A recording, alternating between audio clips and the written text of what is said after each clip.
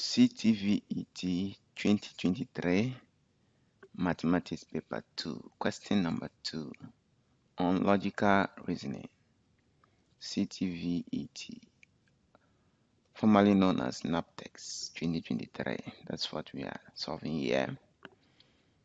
So, this question on logical reasoning it says, given that the statement X, all soldiers were uniform. Statement Y, most soldiers are well behaved. A. Draw a Venn diagram to illustrate the above statements.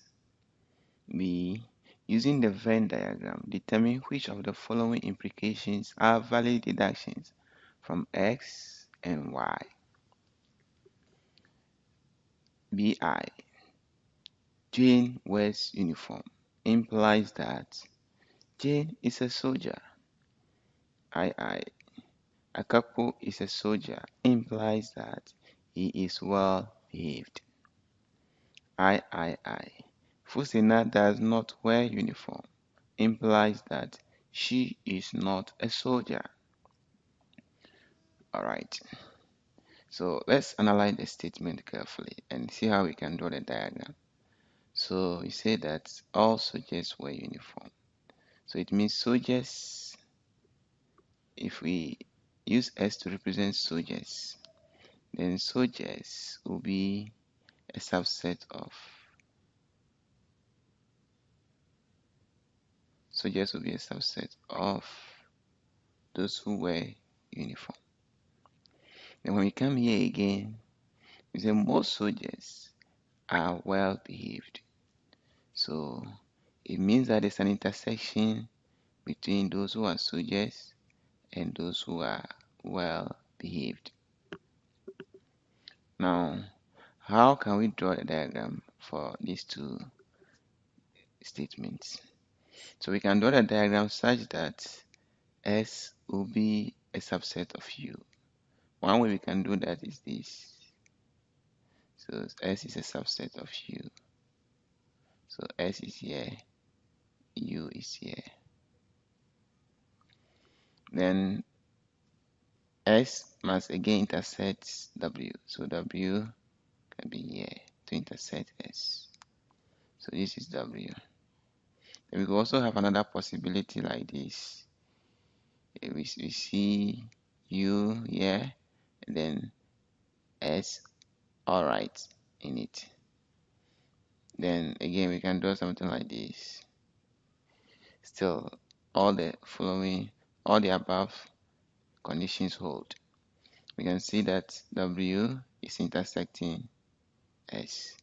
Then we can see that again S is a subset of U. So here are the possible ways we can draw a diagram. So when we have people here the universal set being people universal set referring to people. Then we have people who wear uniform. Then we have people who are soldiers. Then we have those who are well behaved people who are well behaved then we have all those who wear uniform. Then we have soldiers. Good so now let's look at the conclusions and let's see where we how whether they are valid deductions from the implications or the, the statements. So Jane wears uniform. Jane wears uniform. So Jane can be here. Jane can be here. Jane can be here Jane can be here. Because all those there were uniform. When we look at the second diagram too Jane can be here Jane can be here Jane can be here. Now the question the conclusion. So let's go back to the statement again. If Jane wears uniform then Jane is a soldier. Is that always true well look at this person here. There are people who are wearing uniform, but they are not soldiers. So the fact that Jane wears uniform does not necessarily mean that she is a soldier. So because that statement is not always true, it is not valid. Because Jane could be someone who wears uniform but is not a soldier. So we can say that if Jane wears uniform, then Jane is a soldier. That is not valid. Then the same thing applies here. There's someone here who wears uniform but is not a soldier. So both diagrams will give us the same conclusion. They are not valid. Akakpo. So let's let's move on to the second one. Akakpo. Akakpo is a soldier. So where do we put Akakpo? So Akakpo is a soldier. Akakpo can be here. Akakpo can be here.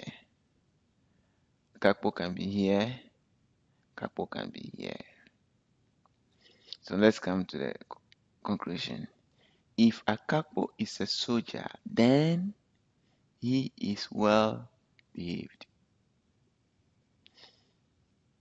Well, we have some soldiers here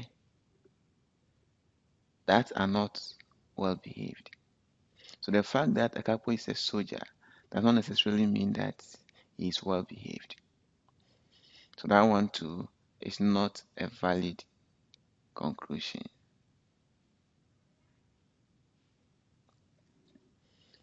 So because a conclusion is not always true. Now let's look at the third one. Fusena does not wear uniform. So where can we put Fusena? We can put Fusena outside the region of those who wear uniform. When we come to the second diagram too, Fusena can be here. Fusena can be here. So let's go back to our statement. If Fusena does not wear uniform, then she is not a soldier. Yes. If Fusena does not wear uniform, we cannot find Fusena in the region of the uh, soldiers. We cannot find Fusena within the region of soldiers. So that statement is always true. That conclusion is always true. So what we are focusing on is that she is not a soldier. So that is valid.